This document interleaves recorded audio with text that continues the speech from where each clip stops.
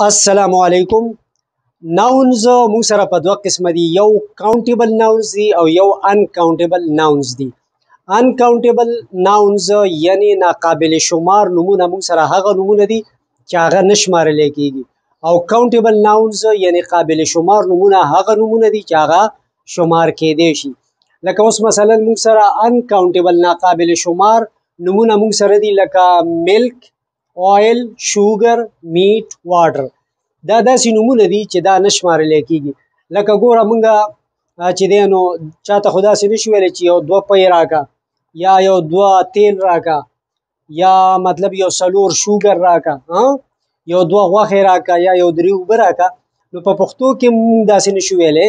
نه په اردو کې ویلی شو نو دا چې دي دا هغه نومونه دي چې دا نه شمارل کېږي او د دې سمپل طریقه دا ده چې دا کله موږ سره به طور سبجیکټ راشي په یو جمله کې نو دې سره موږ سنګولر اکزیلری لګو یا سنګولر ورب لګو لکه ملک از فرش آئل از ایکسپنسیو شوګر از ایکسپنسیو میټ از فرش واټر از فرش نو بس موږ سره سنګولر اګزیلری لګو پاتې شو کاونټیبل ناونز نو پدې کې به خبره شته تفصیل قابل شمار نمونه هغه نمونه چې شمارل کېږي نو اوس چې مونږه کم نمونه شمارل کېږي نو په هغې کې چې مونږه د سنګولر نه یعنی په دې کې خو مطلب پلورل شته دی نه بس دقه سنګولر استعمالیږي خو کم نمونه چې شمارل کېږي نو هغه به کله نا کله مونږ د سنګولر په ځای پلورل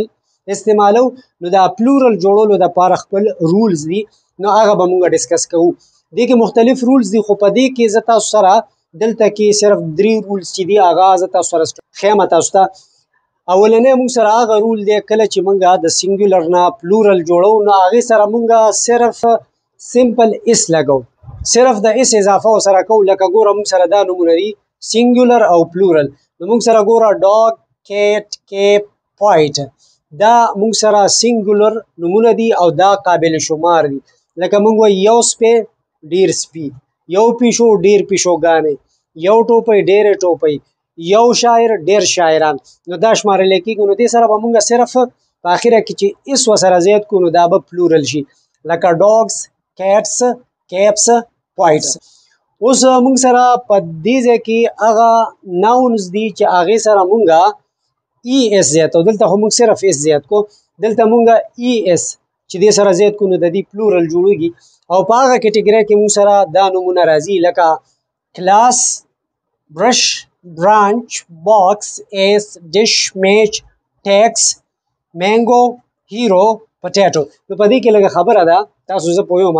لکه ګوره موږ سره دا کلاس دی که نه دې سره موږ چې ای اس ولګو لکه کلاسز برشز برانچز باکسز ایسز ڈشز میچز ٹیکسز مینگوز هیروز پټاټوز د دې مونږ جمع جوړ کړ په ای اس باندې نو تاسو به په دې کې لږ کنفیوز یې چې یاره دا به مونږ ته څنګه پته لګي چې دلته کې ایس ولګو دلته کې ای اس ولګو نو ګوره دلته کې هو ایس لګي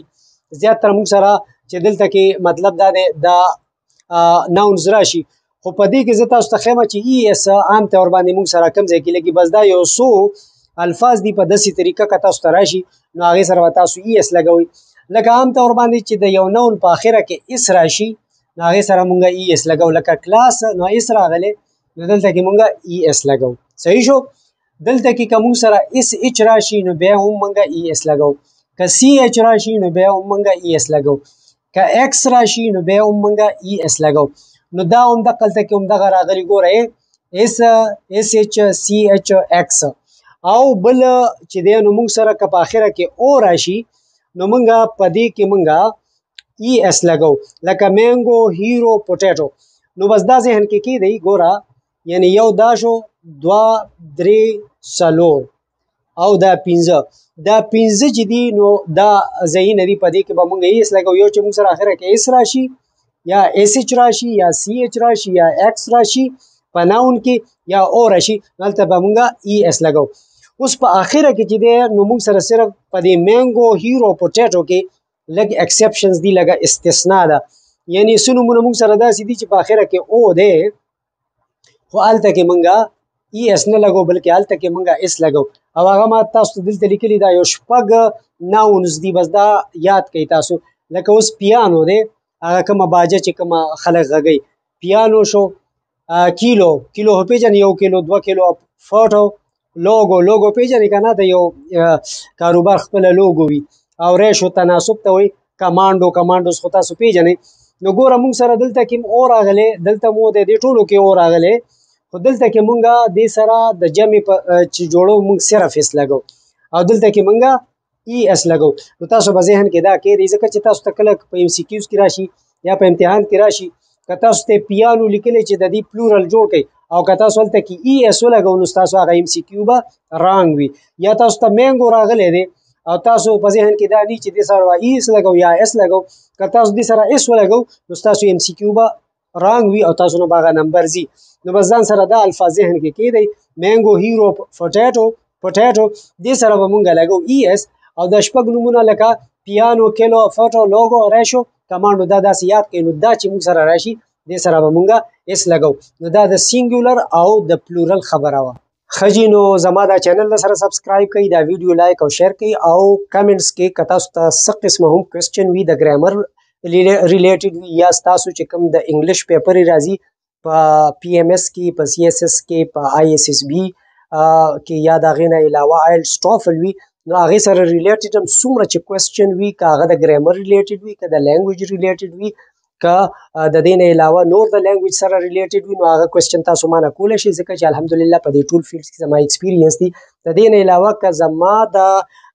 ویډیوز تاسو په خپل سکولونو کالجونو ټیوشن سنټرو کې کا سرکاري وي او که پرایویټ وي په هغې کې په پروجیکټر یا په ډسپلی باندې سټوډنټان ته پلی کولی شي انشاءالله دا های سټنډرډ